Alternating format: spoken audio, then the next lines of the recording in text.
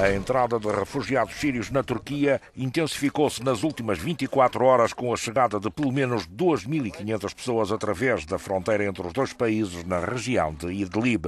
O ministro dos Negócios Estrangeiros turco terá justificado o êxodo com o facto de estarem a acontecer intensas operações com helicópteros militares no lado sírio da fronteira.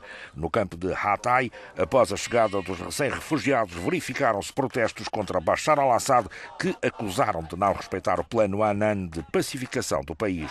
A Direção de Catástrofes e Situações de Emergência da Turquia relatou na quinta-feira a chegada de 1.600 refugiados ao país em 48 horas, o que fixava em cerca de 21 mil o número de sírios atualmente em campos de acolhimento.